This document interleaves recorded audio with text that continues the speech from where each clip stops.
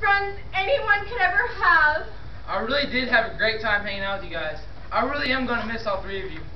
This tour has just gone too fast. I'm gonna miss you guys. I can't breathe. I need some air. Please. I'm sorry.